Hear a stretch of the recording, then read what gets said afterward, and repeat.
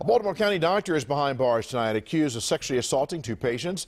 Police charged Dr. Alberto Yataco, facing charges of rape and other sex offenses.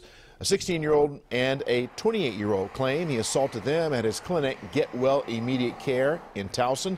Police are trying to determine if there are any other victims.